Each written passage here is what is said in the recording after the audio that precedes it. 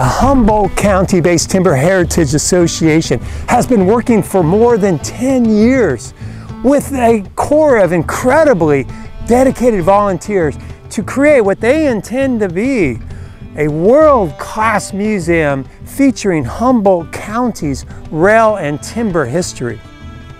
And one of the board members has offered to give us a behind the scenes tour of all the work they've done thus far. And that's exactly what we're going to do today, right here on Humboldt Outdoors.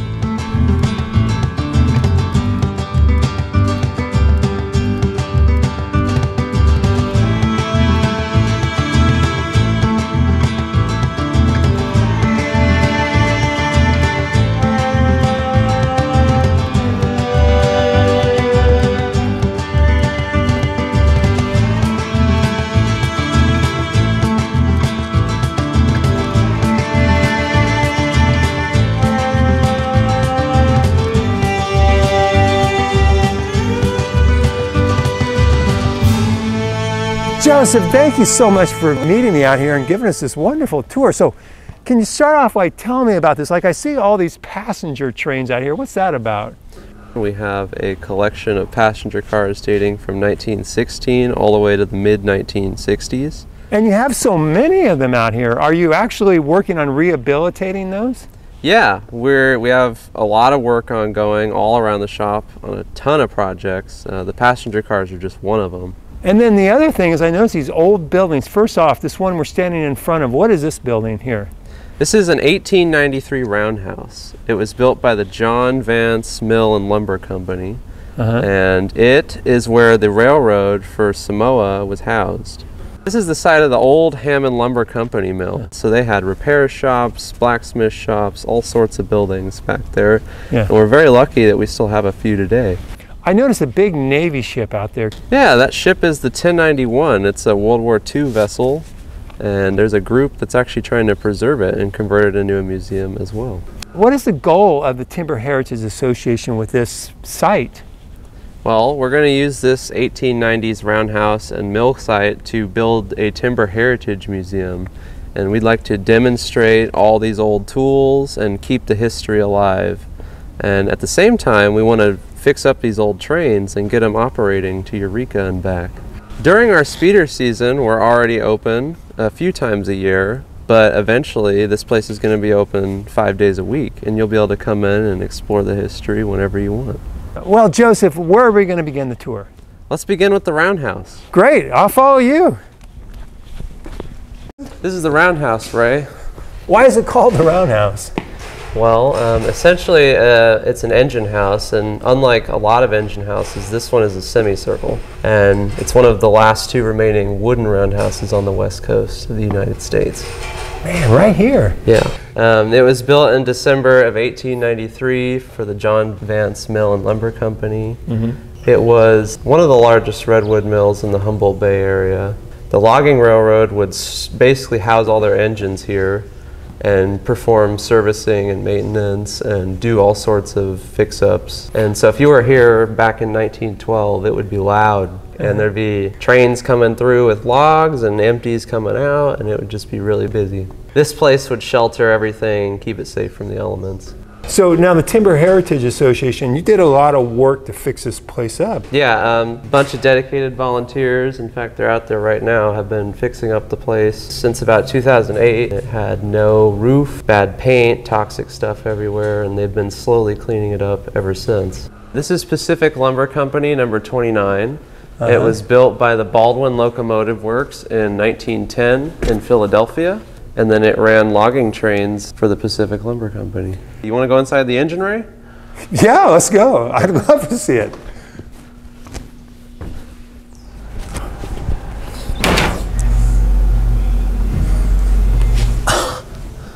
Oh, wow, Joseph.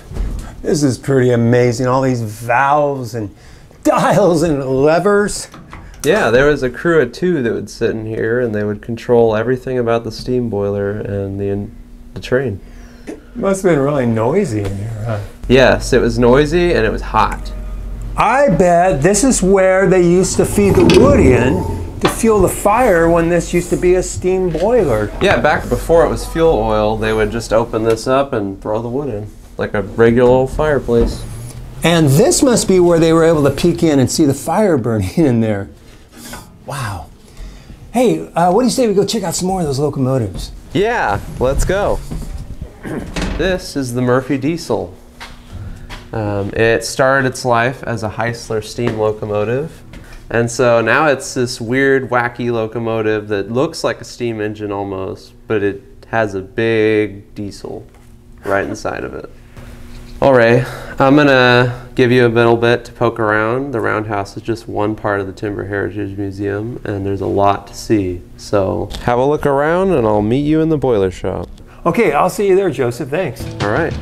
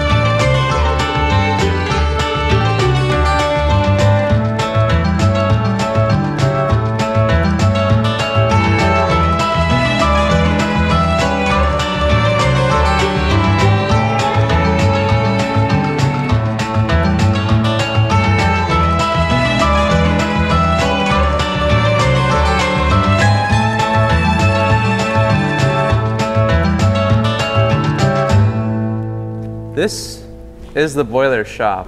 Back in the railroad days when Hammond was operating this area as a railroad and mill site, they would drive the train straight through the roundhouse and into this building.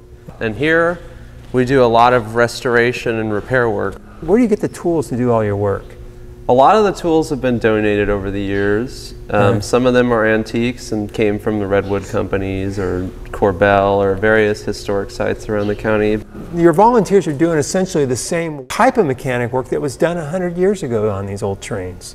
Yeah, the Timber Heritage Museum is a living history museum, so we're trying to preserve the techniques and methods used back then uh, for the next generation.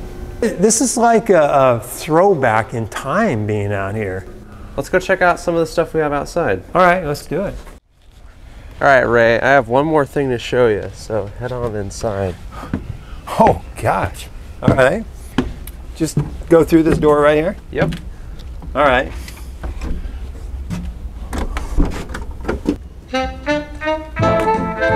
Wow, Joseph. This is like going back in time. Look at this place.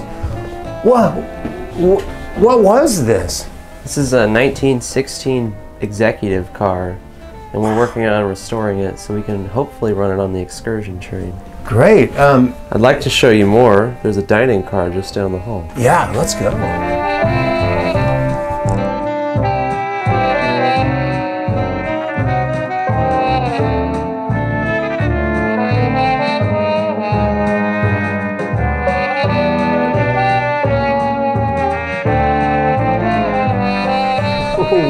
Wow, look at this place.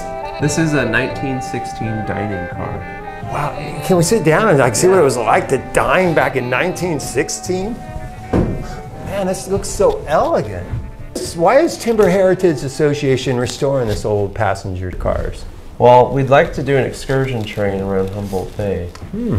And we'd love to serve dinner on the train, and this is a good car for that. How did Timber Heritage come about acquiring these passenger cars? Yeah, this this one was gonna get either cut up or thrown into the river. Wow, so it was saved and Timber Heritage is restoring it. Yeah, Yeah. we're working on it. It's a long process. I'd love to show you the parlor car. I have a lot more to show you. Yeah, let's go see it. Oh, this is fantastic. Thank you so much for showing me this. Mm-hmm.